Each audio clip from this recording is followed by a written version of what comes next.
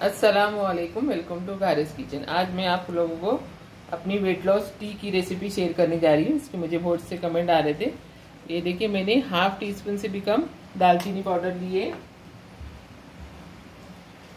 और half teaspoon अदरक powder लेंगे। आप चाहे तो अदरक का रस भी डाल सकते हैं। थोड़ा सा अदरक ग्रेट करके आठ दस बूंदे।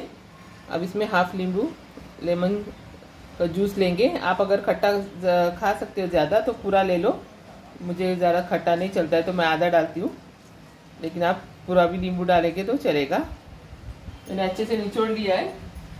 अब इसमें हम लोग एकदम गरम गरम पानी डालेंगे। ये देखिए 200 हंड्रेड इसमें पानी डालना है। इसको अच्छे से मिक्स करेंगे। और इसको जैसे चाय पीते हैं गरम गरम सिप सिप करके पीना है सुबह खाली पेट। ये हमारी वेट लॉस टी बन के तैयार है। तो आप लोगों को रेसिपी कैसी लगी कमेंट करके ज़रूर बताना। अल्लाह हाफिज़।